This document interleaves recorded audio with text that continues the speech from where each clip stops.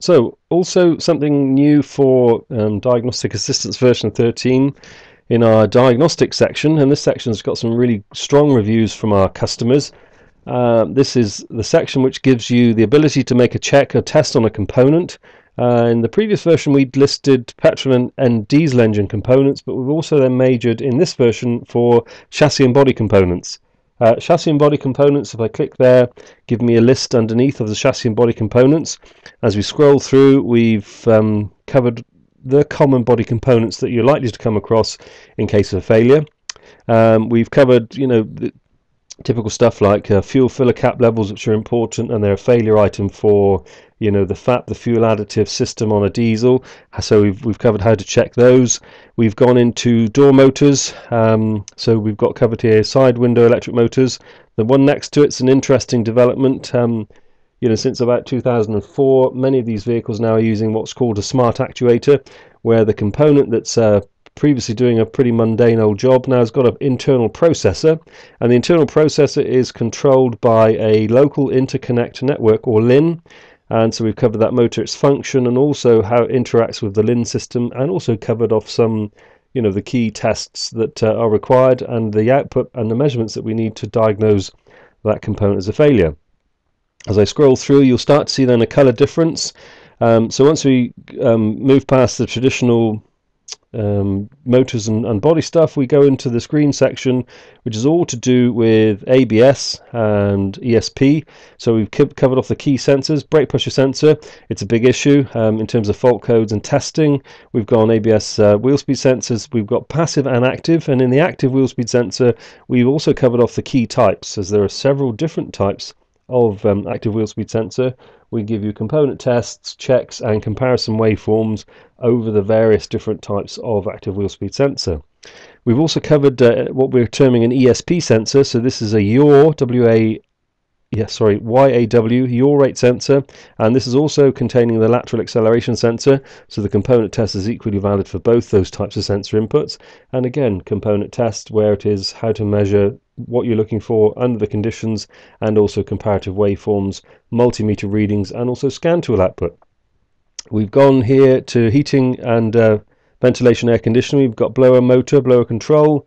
In yellow then we've gone for bulb uh, control, so bulb failure warning and also HID, high intensity discharge or also known as xenon headlights. And then in this um, light brown color we've gone for supplementary restraint and airbag system components, crash sensor, seatbelt tensioners, um, seat pad occupancy and steering angle sensors. And then um, in those, obviously, we've got each one of the component tests covered off. Here in the UK, legislative test now includes a visual inspection of the airbag warning light. So if the car has the airbag warning light on, it won't pass the mandatory inspection and uh, the fault needs to be rectified. So this is a big demand from, from the market here. So we've covered those things off. Also then in blue, we've got covered um, steering components. So electronic, hydraulic, electro-hydraulic power steering systems, pure electric, and also steering angle sensors. And then last but not least, we've also covered uh, pressure, tire pressure monitoring, TPMS systems, um, and the, the various components therein.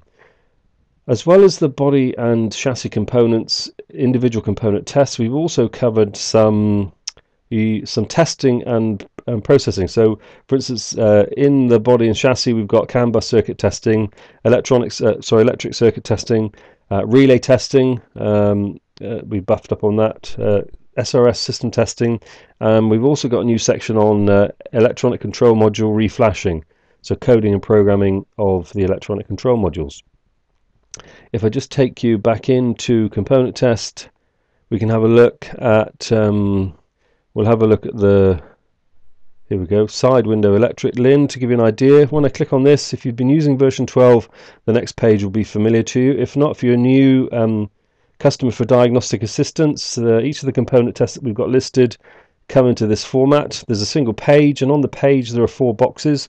The boxes are component information, what it is, what it looks like. All of our components are coloured um, photographs rather than being a line drawing, so you can see exactly what you're looking at how it works, description operation, then what happens if it if it doesn't work, failure mode and effect management, and where the component's located. So once you've got the background of the component, the idea is that you can do pre-test information. Pre-test information gives you a picture of the diagram. It gives you a description of the wires that are connecting that component to the system. Uh, we also list then generic component uh, failure and fault codes and the idea here being um, you can actually get to the component test page from a scan tool. So if your scan tool gives you a fault code, you can use the software in the search button um, to come through to a fault code. And here we've got um, used 0202 data bus door function control module D no communication. Um, and we can actually get to that much more simply and straightforward. If I go back to the home page and I click on search and then my search button, I go for my scan tool, U 0202 and I click on search, it should take me to the component display. We click on display, we'll shut the search box down. This is how we get to the component test. And you'll see that the fault code that we'd uh, put in our search item is listed in green. That means we can get from a fault code to a um, component test using the search function very quickly. So the generic component tests are in there, and if we scroll down through, We've also got then Master Tech Notes. This is a key one that we've had rave reviews back from our customers that have been using version 12, the first of our updated versions that came out last year.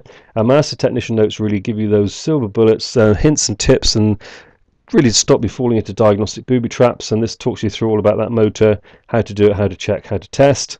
And then we've got the test information, what it is, where it is, how it checks, uh, connection illustration. So if you're going to make a test on the motor, how you should connect. And here we've got a low amps current clamp on the main supply and ground.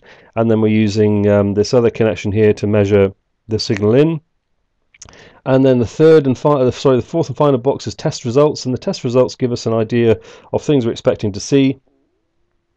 And um, with a multimeter, with a scope, with a scan tool, and what should happen if we get an unexpected result.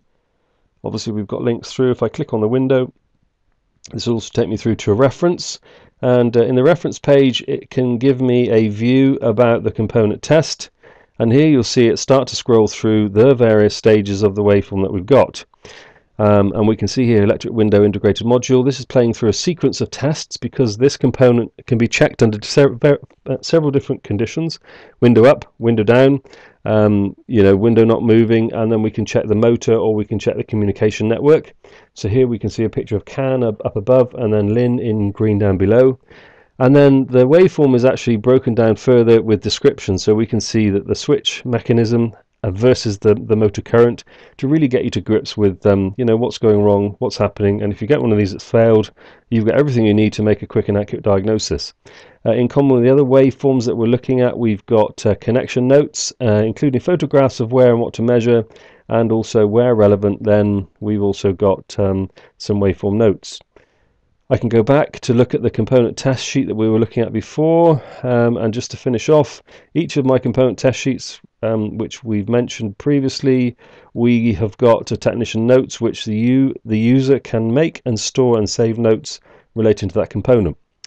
I'll uh, click back to diagnostics, which will take us back to that front page of the chassis components.